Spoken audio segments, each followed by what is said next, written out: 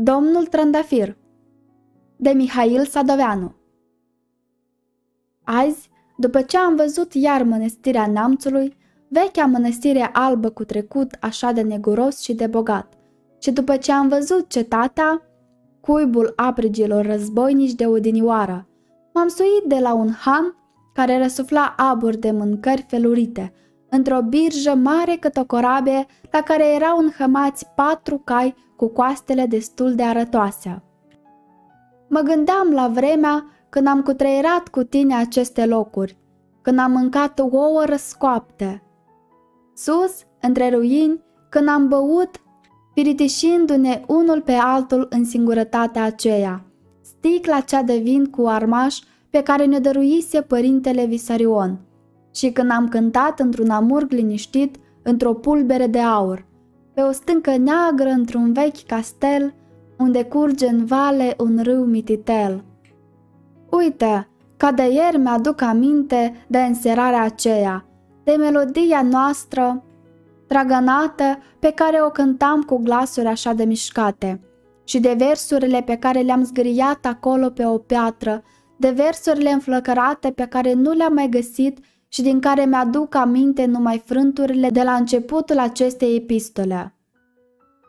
Și m-am suit în haradaica aceea cu patru cai, între bucele mari, între madame grase care se uitau zâmbind la mine și am pornit spre târgușorul meu natal într-un sunet domol de clopăte dogite. La spate aveam departe munții în ceață, înainte se desfășurau dealurile păduroase și mă simțeam cu toată tovărășia glăgioasă, ușor și vesel ca în acea din tâi tinereță. Prin orașii de praf luminos care ne urmăreau în vrătejuri, priveam ogoarele verzi, satele liniștite cu biserici albe, sclipirile depărtate ale apelor. Din când în când ne întâlneam cu băiețandre care își pășteau în șanțuri boulenii albi cu coarnele lucii. Ne urmăreau cu priviri liniștite, până departe, și rămâneau în urmă, tot mai în urmă. Și parcă îmi vedea să mă opresc, să-i întreb, să le spun o vorbă bună, erau chipuri pe care le mai văzusem, pe care le uitasem de când m-am înstrăinat și pe care le regăseam același în liniștea și seninătatea lor. Și cu cât mă apropiam de locul unde m-am născut, cu atât se deșteptau amintirile copilăriei, vii și luminoase, parcă răsăreau din împărăția uitării, prieteni pierduți care mă salutau cu zâmbete de bunătate. Când intrarăm la moț ca în codru, Zvoana de glasuri din trăsură se potoli ca printr-un farmec. Caii mergeau la pas și în liniște ascultam framătul ușor al desișurilor. Parcă era un cântec și parcă îmi venea să dorm. Și dintr-o dată, dintre chipurile trecutului care mă cercau unul după altul, unul rămase mai deslușit și zâmbi cu dragoste în pirotala care mă copleșea. Era Domnul, Domnul Trandafir, învățătorul meu. Nu-l văzusem de mult pe domnul Trandafir. Îmi închipuiam că e pensionar, că trebuie să fie îmbătrânit. Eu îl vedeam însă tot ca o dinioară, înalt, bine legat, cu mustăceara neagră pe care și-o tundea totdeauna scurt, zâmbind cu bunătate, încruntându-se câteodată, însumflându-ne un respect mărginit. Toate patru clasele erau grămădite într-o odaie lungă. Unora din băieți le da teme, pe alții asculta. Când explica, ascultăm toți și istoriile minunate cu Ștefan cel Mare și Mihai Viteazu l-am știut chiar din clasa întâia. Mai cu seamă, explicațiile la istorie erau minunate. Pe sub tavanul scund al clasei treceau eroii altor vremuri în cununile lor de neguri. Îi urmăream înfiorat – Auzeam parcă freamătul luptelor și acasă îi visam o noapte întreagă. Uite, și acum mi se pare că domnul nostru a fost un om deosebit. Îi scânteiau privirile și era și el mișcat când ne spunea despre mărirea strămoșilor. Când făcea un semn cu mâna așa într-o parte, parcă ridica o perdea de pe trecut. Și eu vedeam tot ce spunea glasul lui. Și când mă gândesc bine, când judec cu mintea de acum, când caut să adun unele fapte pe care atunci, copil, le treceam cu vederea, găsesc cu mirare că domnul era un om foarte necăjit, hărțuit de administrație, că cu greu își ducea gospodăria lui, că venea de multe ori amărât ca să ne dea cu dragoste învățătura de toate zilele. Dar atunci nu, n-avea altă grijă decât să ne spuie istorii mișcătoare.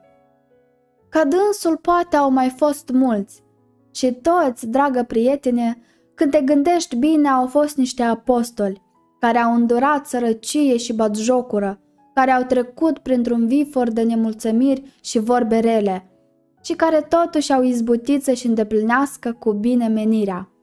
Domnul nostru ne-a învățat rugăciuni, ne-a învățat cântece care erau așa de frumoase pentru copilăria și sufletele noastre, deși nu le înțelegeam bine. Ne-a învățat să credem și în alte lucruri, în trecutul și vrednicia noastră, lucruri pe care mulți le bagiocoreau în acea vreme. Ne-a învățat multe de care aminte nu ne mai aducem, dar care au rămas în fundul sufletului ca semințe bune ce au înflorit bogat mai târziu. Îmi aduc aminte, într-o sară ne strânseserăm, la școală la împletit panere. Cedeam în cerdac, în cerdac la domnul și unul spunea o poveste. Era o liniște mare în împrejurimi în primăvara aceea și desparte, spre șireț, se auzea, abia se auzea un cântec de fluier. Umbrele înserării ne învăluiră. Povestitorul tacu și noi rămaserăm fără vorbe, cu Domnul în mijlocul nostru, ascultând adierea depărtată a cavalului. Și a așezat în geam pe din lăuntru o lampă și în lumina ei acolo între noi ne-a cetit harap alb al lui Moș Creangă. Glasul lui curgea domol și basmul ne fermeca pe toți ca un cântec frumos. Povestea mi-a rămas adânc săpată în suflet și mai târziu, când am cetit-o într-o odăiță scundă, în Iași, pe când făceam liceul, am stat mult și m-am gândit la Sara când o cetea învățătorul. M-am gândit ca la o altă poveste senină a copilăriei mele. Dintre toate amintirile frumoase, această Sara, când a citit povestea, rămăsese stăruitoare în piroteala mea. În legănarea trăsurii mari, pe când clopotele sunau încet prin liniștea pădurii. Treceam printre două ziduri de verdeață care îmi trimiteau aburii răcoroase și mă apropiam repede de locul unde a fost odată școala, unde m-am jucat, unde domnul și-a petrecut atâția ani, 30, descălind șiruri după șiruri de copilandre cu ochi neliniștiți. Acolo nu mai e nimic, e loc gol și domnul, îmbătrânit cu părul alb, se plimbă încet – cu mâinile la spate, singur și trist. Îl întreb, ce mai faci? Greu, greu, îmi răspunde încet dând din cap. De acum mă duc să mă întâlnesc cu harap alb și cu crangă. Și parcă mă cuprinse o înduioșare. Mă uit la dânsul și nu-mi vine a crede că el e omul tânăr care altă dată ne-a strecurat în suflete atâta credință și atâta foc. M-a deșteptat larma glasurilor și lumina alba a câmpiei. Târgușorul meu se vedea departe, într-o grămădire de acoperișuri negre și roșie. Eram neliniștit. Voiam să văd cât mai curând pe dascălul copilăriei. Și vezi tu, dragă, Poate scrisoarea aceasta de aceea e așa de sentimentală și așa de plină de puncte de exclamație, pentru că vestea pe care am aflat-o a fost tristă. Totuși trebuia să mă aștept la ea. Domnul nu mai era nici vesel, nici trist, nici bătrân. După ce și-a isprăvit cei 30 de ani de dăscălie, s-a dus unde e locul tuturor, Câte ceva din sufletul lui a rămas în sufletul multora, dar el nu mai este. Și a îndeplinit cu a nevoie o muncă grea de care nu s-a plâns și pe care n-a strălucit. A murit în păcat, ca mulți alții și acum se odihnește. Din ziua când m-am întors aici, în târgușorul nostru cel vechi, n-am stat o clipă. Am cutreierat în lung și în lat locurile cunoscute, în care au rămas vii pentru sufletul meu întâmplările copilăriei, întâmplările luminoase ale copilăriilor așa de îndepărtate. Am văzut la Siret locul unde mă scăldam cu dracii de sama mea. Ne bălăceam în valuri, ieșeam la mal și ne ungeam cu nămol din cap până în picioare. Lăsam să ne părlească soarele prieteni, ne sculam, ne alungam în lungul malului cu chiote și cu răcnete. Apoi dintr-o dată săream cu toții în apă, în bufnelea surzitoare și în curcubeie de stropi. Am văzut iarăși întinsele zăvoaie de salci cenușii în care intram cu groază frica de bursuci. Frica ținea până ce dădeam de sișurile cu mure, când ne puneam la ospăt și la taifas. Pe urmă, prin poien, chiote și goană, parcă vinise pe acele meleaguri o știre de sălbatici. Și-am mai văzut la marginea târgului șururile dărăpânate, pline de polobace unde jucam de ascunsul noaptea. Cu cât fior căutam prin colțuri negre și cotrobăiam prin polobacele răsunătoare și cercetam, prin podurile în care se furișau dungi albe de lumină, pe tovară și ascunși, și mi-aduc aminte că totdeauna trebuia să mă mormăiesc singur, să spun câte o ghidușie ca să izbucnească în râs cineva – numai așa puteam să dau de o urmă în pustiul acela. Și câte și câte lucruri care m-au înfiorat și m-au bucurat, pe toate le-am văzut. Totuși niciunul nu m-a mișcat așa de mult, frate dragă, ca locul, numai locul a rămas unde odată era școala. Acolo am intrat în framătul de copii cu teamă și cu bucurie în întâia dimineață. Când m-a adus tata de mână, Acolo era un păr care făcea pere așa de bune, din care Domnul ne dăruia de gustare câte două la începutul fiecărei vacanțe. Acolo era curtea unde înălțam iarna uriaș de zăpadă, la capul cărora ne suiam cu scara. Să le punem pipe în gură și cărbuni în locul ochilor. Acolo multe lucruri s-au petrecut, prietene, și de acolo pornind, Simt că iar mă cuprinde înduieșarea și iar am să-ți vorbesc și în această scrisoare de domnul Trandafir.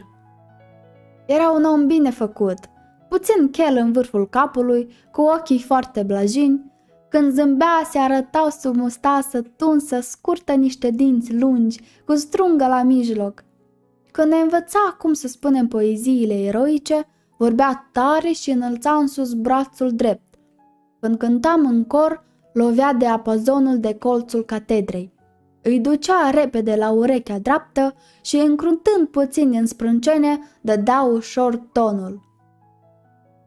Iar băieții răspundeau într-un murmur subțire și așteptau cu ochii ațintiți la mâna lui, care dintr-o dată se înalță. Atunci zbucneau glasurile tinere într-o revărsare caldă. Când trebuia câteodată sâmbătă după amiază să ne cetească din poveștile lui Creangă, ne privea întâi blând, cu un zâmbet liniștit, ținând cartea la pept în dreptul inimii, și în bănci se făcea o tăcere adâncă ca într-o biserică. Tu bați de seamă că nu-ți vorbesc de gramatică și de aritmetică și nici nu-ți voi vorbi. Acestea se făceau bine, băieții învățau după puterile lor, dar sunt niște lucruri așa de neînsemnate când le pui în față în față cu învățătura cealaltă, sufletească, ce ne-a dat Domnul. Și ne-a dat această învățătură nu pentru că trebuie și pentru că îi se plătea, dar pentru că avea un prisos de bunătate în el și pentru că în acest suflet era ceva din credință și curățenia unui apostol. Acolo în colțul acela de țară putea să fie cum voia învățătorul. Nimeni dintre cei mari nu-l tulbura. Nimeni nu se interesa cum mergea școala lui. Bine, rău, el făcea ceea ce socotea că trebuie să facă și atât. De aceea, domnul trandafir al nostru a rămas foarte mirat când într-un rând, în cei din urma ani de dăscălie, a primit vizita unui din cei de sus. Să vezi cum a fost – Într-o bună zi, iată că intră pe poarta ogrăzii doi străini. Băieții în clasă erau cu monitorii. Domnul, în grădină, priveghea la descărcatul unui card de fân. Era foarte gospodăros și plăcea să se facă fiecare lucru cu rânduială. Străinii se apropie. Bună ziua! Mulțumim, dumilor voastră! Domnul Trandafir se uită la străini, străinii se uită la domnul Trandafir. Mă rog, ce doriți dumneavoastră? Apoi, uite ce e. Dacă ești bun, am vrea să vedem școala. Cum nu? Numai să-i sprăvesc cu fânul ăsta. Marie, ia aveți de ceva răcoreală, dulceți, cafea? Ia ședeți vă rog colea la umbră în cerdac o leacă, te mai răsuflați. Nu, că suntem cam grăbiți. Uite, îndată cât ai bată din palme. Și iată-l că se scutură de fân, trece înainte și poftește pe străini în clasă. Acolo întrebări, câți copii vin la școală, câți sunt înscriși și domnul răspundea că vin câți sunt înscriși și se cam miră de celor fi întrebând orășenii de lucruri de acestea. Revizor nu sunt, pe revizor îl cunoaște el bine și știe că vine de două ori pe an. Vine rar, că știe cu cine are de-a face. În sfârșit, or fi fiind alți slujbași mai mari, mai știi, iar unul din ei. Mă rog, fii bun și fă o lecție. Așa, de curiozitate. Și domnul face o lecție. Uite așa cum o făcea el totdeauna. Întreabă pe băieți, vorbește și el, spune lucru care și pe el îl mișcă și îl ajung la inimă și iată că orășenii îl privesc cu ochii dintr-o dată încălziți. Întreabă și ei pe copii, îi ascultă o poezie, domnul își lovește ușor de apazonul de colțul catedrei, ia și clasa răspunde într-o adiere ușoară de glasul tinere. Și toți cântă, cântă așa de-i place și lui domnul Trandafir și zice și el la urmă, Bravo băieți! iar străinii îl întreabă iar.